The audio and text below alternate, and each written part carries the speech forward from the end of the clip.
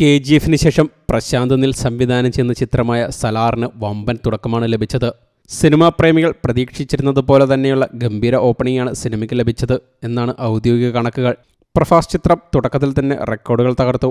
Release ദിനത്തിൽ സലാർ ആഗോളതലത്തിൽ നേടിയ തുക ഇപ്പോൾ ഔദ്യോഗികമായി പുറത്തുവിട്ടിരിക്കുകയാണ് നിർമ്മാതാക്കളായ ഹോംബാലെ ഫിലിംസ്.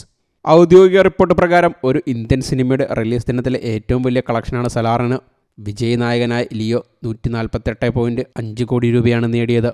പിന്നാലെ രണ്ടാം സ്ഥാനത്ത് നൂറ്റി ഇരുപത്തൊമ്പത് പോയിന്റ് ആറ് കോടി രൂപയുമായി ഷാറുഖ് ഖാന്റെ ജവാനും നൂറ്റി പതിനഞ്ച് പോയിന്റ് ഒൻപത് കോടി രൂപയുമായി രൺബീർ കപൂറിന്റെ ആനിമലും മൂന്നാം സ്ഥാനത്ത് നിൽക്കുകയായിരുന്നു. എന്നാൽ ഈ റെക്കോർഡുകളെല്ലാം മറികടക്കിയാണ് സലാർ. നൂറ്റി എഴുപത്തെട്ട് പോയിന്റ് ഏഴ് കോടി രൂപയാണ് സലാറിന്റെ ഒന്നാം ദിന കളക്ഷൻ. രണ്ടായിരത്തി ഇരുപത്തി മൂന്നിലെ ഒരു ഇന്ത്യൻ സിനിമയുടെ ഏറ്റവും വലിയ ഓപ്പണിംഗ് ആണിത് നേരത്തെ വന്ന വിവിധ ബോക്സ് ഓഫീസ് ട്രാക്കർ കണക്കുകൾ പ്രകാരം സലാർ നൂറ്റി എഴുപത്തഞ്ച് കോടിക്ക് മുകളിൽ നേടിയെന്നാണ് പറഞ്ഞിരുന്നത്. എന്നാൽ ആഗോളതലത്തിൽ സിനിമയെക്കുറിച്ച് വളരെ പോസിറ്റീവായിട്ടുള്ള പ്രതികരണമാണ്. ബാഹുബലിക്ക് ശേഷം പ്രഭാസ് നിറഞ്ഞാടുകയാണെന്നാണ് പ്രേക്ഷകരുടെ പ്രതികരണം.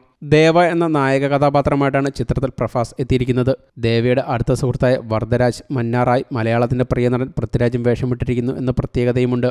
കെ ജി എഫ് നിർമ്മാതാക്കളായ ഹോംബാലെ ഫിലിംസ് തന്നെയാണ് സലാർ ആദ്യ ഭാഗമായി സലാർ ദി സിസ്ഫയറും നിർമ്മിച്ചിരിക്കുന്നത്. ഒരു ഇമോഷണൽ ആക്ഷൻ ഡ്രാമ എന്ന് വിശേഷിപ്പിക്കാവുന്ന സലാറിലെ ആക്ഷൻ രംഗങ്ങൾ വലിയ കൈയടിയാണ് തിയേറ്ററുകളിൽ നേടുന്നത്. ചിത്രം റിലീസായ എല്ലാ കേന്ദ്രങ്ങളിലും നിറഞ്ഞ സദസ്സിലാണ് പ്രദർശനം തുടരുന്നത്.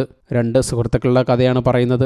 അങ്ങനെയുള്ള ഇരുവരും എങ്ങനെ കൊടും ശത്രുക്കളായി മാറുന്നു എന്നതാണ് സലാർ ഫ്രാഞ്ചൈസിയിലൂടെ പ്രശാന്ത് നീൽ പറയുന്നത്. പ്രശാന്ത് നീലിന്റെ മികവുറ്റ സ്റ്റൈലിഷ് മേക്കിംഗ് കൊണ്ട് തന്നെ സലാർ ഒരു മാസ് ക്ലാസ് ഫീലാണ് ഓഡിയൻസിന് കൊടുക്കുന്നത്. സൗഹൃദം എന്ന ഇമോഷണലിലൂടെയാണ് കഥ പോകുന്നത്. സുഹൃത് ബന്ധത്തിന് ഏറെ പ്രാധാന്യമുള്ള സലാർ ഒരു ദൃശ്യവിരുന്ന് തന്നെയാണ്. ബാഹുബലിക്ക് ശേഷം പ്രഭാസിന്റെ കരിയർ ബെസ്റ്റാണ് സലാർ. ശ്രുതി ഹാസൻ ജഗപതി ബാബു ബോബി സിംഹ ടിനു ആനന്ദ് ഈശ്വരി റാവു ശ്രീയ റെഡ്ഡി രാമചന്ദ്ര രാജു എന്നിവരാണ് മറ്റ് അഭിനേതാക്കൾ. രവി ബസ്തൂറാണ് ചിത്രത്തിന്റെ സംഗീത സംവിധാനം.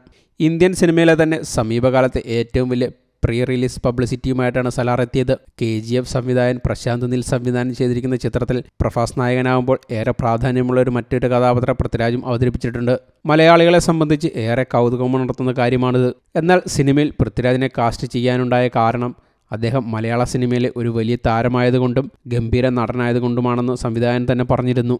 ഈ സിനിമയിൽ അദ്ദേഹം ഒരു രണ്ടാമനല്ല. പക്ഷേ അതേസമയം അത് എങ്ങനെയായിരിക്കുമെന്ന് നിങ്ങൾക്കറിയാമല്ലോ. ഒരുപാട് സീനുകളിൽ നായകൻ ദേവയാണ് എല്ലാം ചെയ്യുന്നത്. പക്ഷേ ഈ തിരക്കഥ അദ്ദേഹത്തിന് ഏറെ ഇഷ്ടപ്പെട്ടു. തിരക്കഥാ വായന തുടങ്ങി അല്പം കഴിഞ്ഞപ്പോൾ എനിക്ക് മനസ്സിലായി അദ്ദേഹം ഒരു സംവിധായകനെ പോലെയാണ് ചിന്തിക്കുന്നതെന്ന്.